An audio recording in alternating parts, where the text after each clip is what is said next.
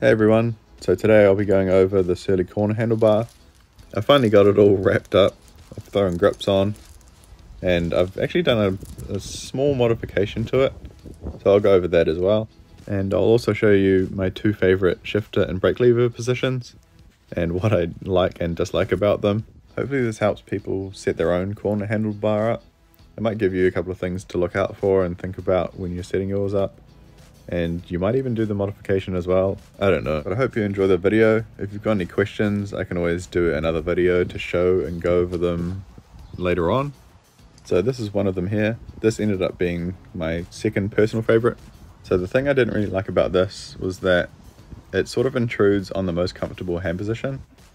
So with these handlebars, I really liked my hand being sort of just at that bend in the drop and the brake lever was just too close to that. So I ended up grabbing like too high up on the brake lever blade. So I didn't really get as much leverage as I would with my fingers nearer the end of it. So that was one of the big issues for me with this position. And also because I had the separated shifter and brake lever, that the shifter was a little bit too far away for me. So I preferred definitely by quite a lot the brake lever and shifter being up top, which is pretty much how they have them in most photos anyways. Both the brake lever and the shifter, they ended up being in pretty much the perfect position from here for me anyways. So there's a nice gap between where your hand is and where the lever starts. So the lever blade feels like it's in a nice position. Uh, keep in mind these are like a more modern lever that are pretty much intended for two finger or one finger use. So with my hands at the furthest part back of the drop. I can't quite reach the brake lever, but that's not a huge issue really. So these cables are the factory cables that came on the Kona, and you can see that a little bit of flex there still. The dropper post cable was a little bit too short, so I'll have to extend that, but it's just a gear cable anyway, so that's easy as. So about the only thing that I don't really like about this handlebar is this hood position. So you sort of have to wrap your hand around the lever which it's not really great. Um, I know it's not really meant to be a hand position, but I thought it would be nice to have an additional hand position in that same sort of spot but further forward. There are products that you can buy just off the shelf and fit it and it will extend it a little bit. I wanted a little bit extra than those and the Scooter 4 inch handlebar extensions would have taken about three, four, four weeks or so and I was just too impatient. So this, start, this starts off looking pretty cheap but it ends up being really expensive. So I use a mountain bike handlebar end, just like the old style like this. Specifically one that has like the plug that goes in like that so you have a bit of purchase on the bottom. So you cut it down and then that exposes a bit of a, a, a hole sort of with the threads, which I just filled with JB Weld. I did that just so I can drill in through the bottom pretty easily. So this part is where it gets expensive. This is a Weather People Supreme bar end which is like it's a 50 New Zealand dollar handlebar end. It's not cheap at all, but this is the most secure thing that I could find. It's got a really good knurled wedge system, and I could easily retrofit it to this. So after a bit of filing, I got that end plug to fit in nice and snug into the inside diameter of the handlebars. And then I drill a hole through before I cut this valley. So one of the main reasons why I use this frankly really expensive handlebar end was that I could pretty easily retrofit it to suit this application.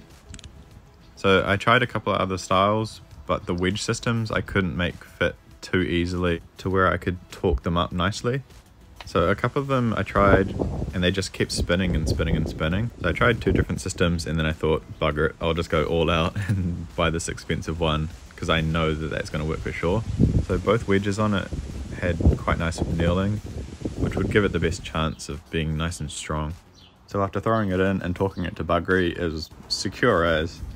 I put all my weight on it and it didn't budge at all, which it just gives that peace of mind. So if I'm going uphill or whatever and I want to get some leverage on the horns, I don't have to accidentally break one off. Um, you could also just weld an extension on. It's a steel handlebar, so you shouldn't really have any issues with that. I don't want to go through that route um, I might do it later on if I find like an extension uh, that I really like. It would be nice to have sort of like a little curve on here as well.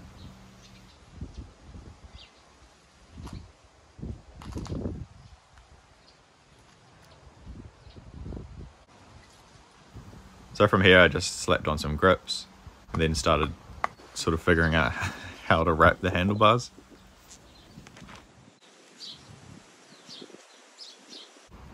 So this took me a few tries.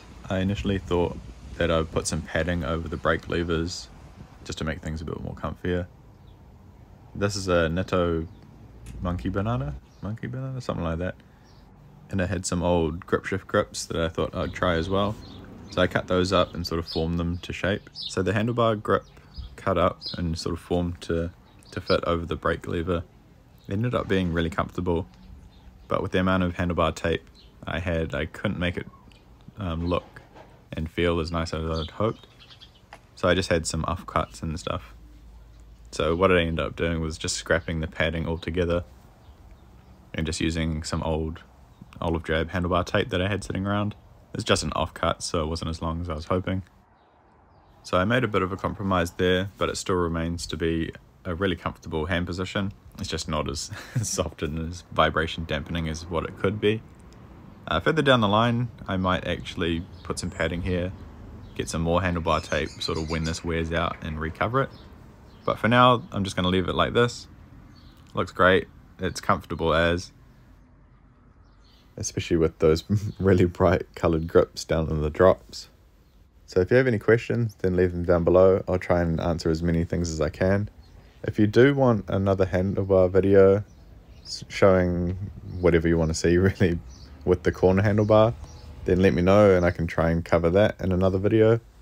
But otherwise, thanks for checking this one out. The next video will be a retro mountain bike build up. So thanks for checking out the video and I'll see you in the next one. Bye.